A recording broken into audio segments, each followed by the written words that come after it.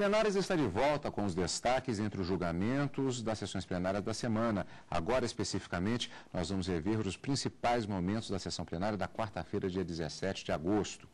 Começando com a apresentação do voto vista do ministro Aires Brito na ação direta de inconstitucionalidade 2588. Relatoria da ministra Ellen Grace, agora aposentada do STF. Confederação Nacional da Indústria, CNI, versus Presidente da República e Congresso Nacional. Esse processo é importante e um pouquinho complicado, complexo.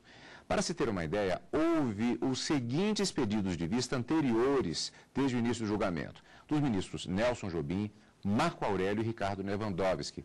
Nesta semana, o julgamento foi retomado com a apresentação do voto vista, como vimos, do ministro Aires Brito. A ação refere-se à legislação federal ah, que, para atacar a chamada elisão fiscal, estabelece que será considerado como o momento da disponibilização da renda para efeito de imposto de renda da empresa brasileira a data do balanço de sua coligada ou controlada no exterior, mesmo que não tenha ocorrido a distribuição dos lucros. Lembrando que nesse processo também envolvido um outro tributo, a chamada CSLL, a Contribuição Social sobre o Lucro Líquido. Bom, Karina, para começar, esse termo específico, elisão fiscal. Do que se trata? É, na verdade, elisão fiscal trata-se de uma forma de se economizar, uma economia de tributos. Você, no âmbito internacional, por exemplo, as empresas podem fazer um planejamento tributário internacional e buscar países que promovem, uma, de uma certa forma, têm uma certa, de uma certa forma, uma carga tributária diferenciada, em que a empresa ali se instalando, ela vai ter esses incentivos para que pague menos impostos.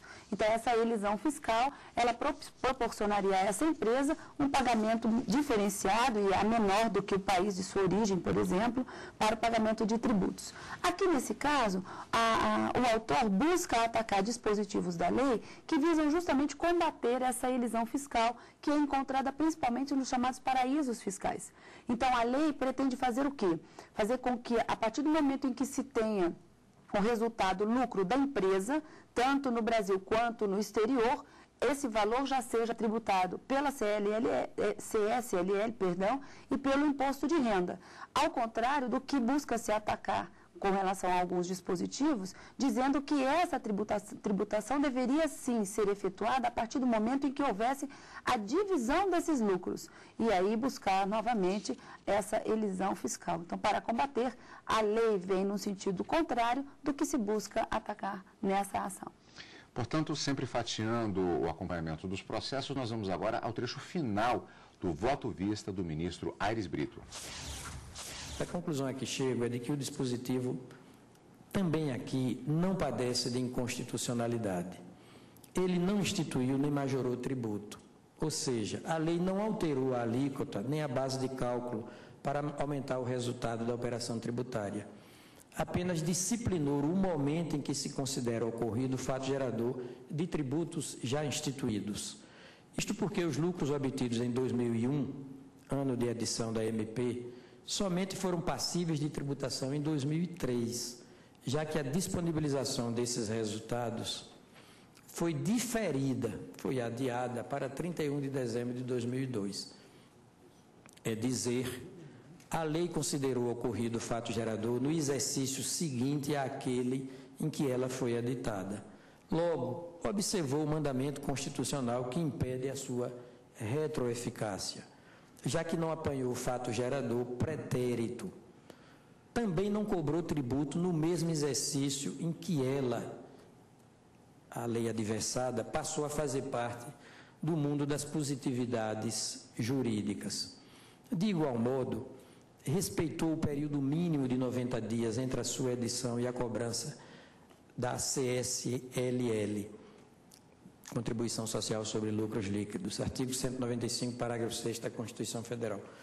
Com estes fundamentos, senhor presidente, julgo improcedente esta ação direta, o que faço com o máximo de respeito às ilustradíssimas opiniões em contrário. Você julga improcedente. Improcedente. Na sequência, voltou o ministro Celso de Mello, que acompanhou entendimento diferente manifestado antes, durante este julgamento. Vamos ver.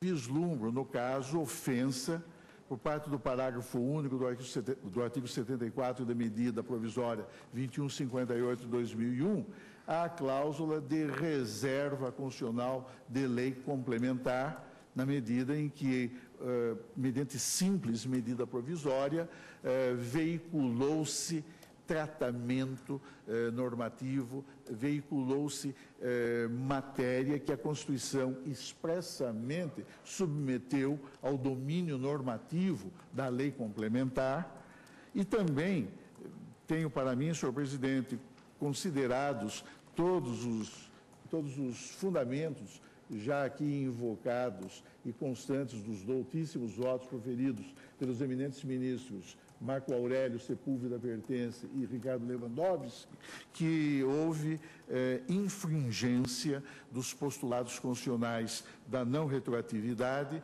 e da anterioridade da lei tributária.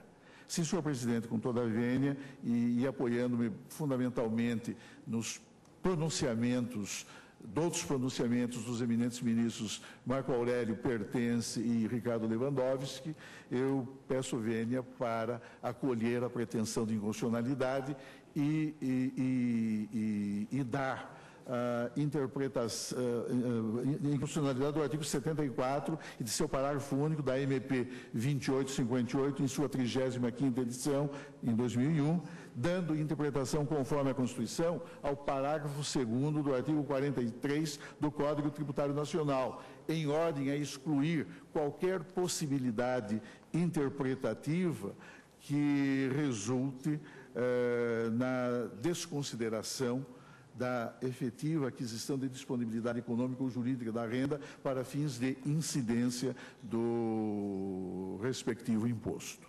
Nesse sentido, o meu voto. Procedente. Sim.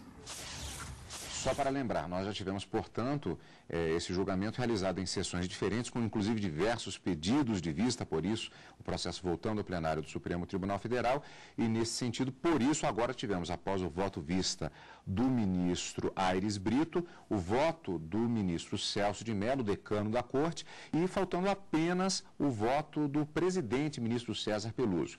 Já na segunda parte da sessão, exatamente o voto do ministro, portanto, na expectativa de se totalizar os votos referentes a este julgamento para se chegar a uma decisão. Primeiro vamos, portanto, rever já na segunda parte da sessão daquela quarta-feira, o voto do presidente da Corte, ministro César Peluso.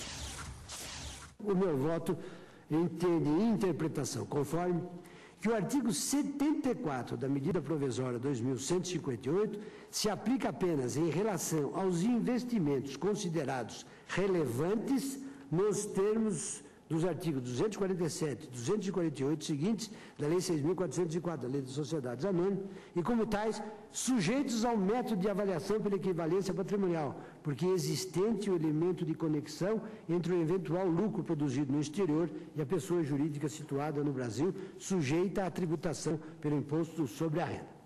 Mas advirto que, por envolver outras contas do patrimônio líquido, e até variações cambiais ativas e passivas, decorrentes de diferenças de câmbio no período, não é todo o resultado ganho oriundo de avaliação por equivalência patrimonial que pode incluir-se na base de cálculo do imposto sobre a renda, mas apenas aquele advindo especificamente do lucro produzido no exterior. Portanto, o meu voto, na verdade, julga a ação também improcedente, dando interpretação conforme o artigo 74 da medida provisória.